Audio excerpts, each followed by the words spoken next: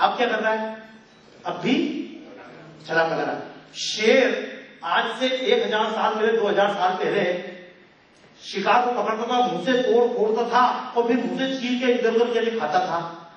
दस हज़ार साल बाद शेर छुरी काटने से खाना सीखा गया इतने साल पहले कोई व्यक्ति किसी जानवर मार के खाता था भेड़िया सीधा कच्चा खाता था?